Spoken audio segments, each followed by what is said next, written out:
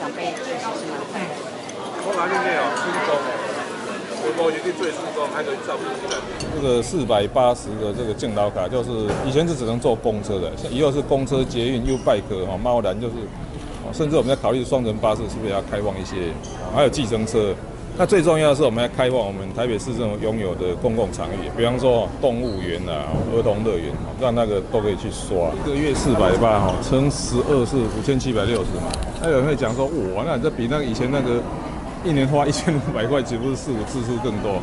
不过目前是开放哦，台北市政府自己有的公共运输跟公共场域，什么意思？你知道？目前我们捷运一一天大概是坐两百万人。所以，如果做两百万人跟做两百一十万人，成本有没有增加？其实增加不多。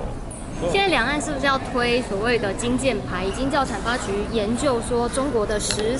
哇，你怎么你怎么？哎，我们被装确定器有吗？啊，那你又要打打金建牌？你从哪里听来的？呃，我们平面媒体有写。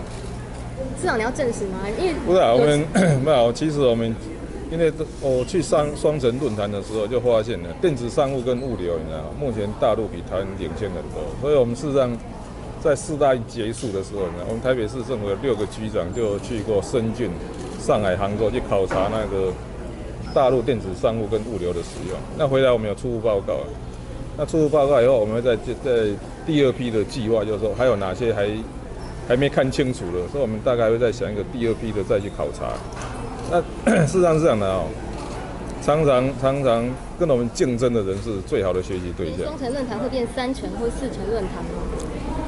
一般来讲，目前没有这个规划的。目前我们还是，比方说我们去深圳，深圳是也是单单点去的。这个也不是我们想怎样就怎样的。不过我倒觉得这样，大陆有好的，我们还是要学习的。那明年双城有可能停吗？目前是我态度是这样的哦。对等尊严的原则之下，还是办嘛？那我态度是这样，我们我们就是这样。那那我我们一定不会说我们不办，我们会保持一个就是说欢迎你来啊，但是哦啊对等尊严的原则啊，剩下就看你的看你要不要来。市长早上致辞的时候提到那个政党的计谋害人啊，这不是大声讲的价值，是不是意有所指？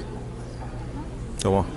你今天早上致辞，就是在那个交接典礼上致辞的时候，你就是说，呃，政党在计谋害人，不是，但不敢在媒体面前大声讲，这个就不是大声的讲的价。不是，我说价值是这样的，可以大声讲的，可以可以大声讲的价。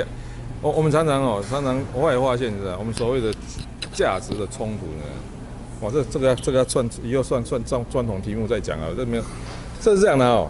其实可以大声讲出来的东西哦，百分之九十五以上都没有争议，所以所以所以所以后来发现，只要能够大声讲的东西，大概就就照那样做就对了。那你希望这个被政党？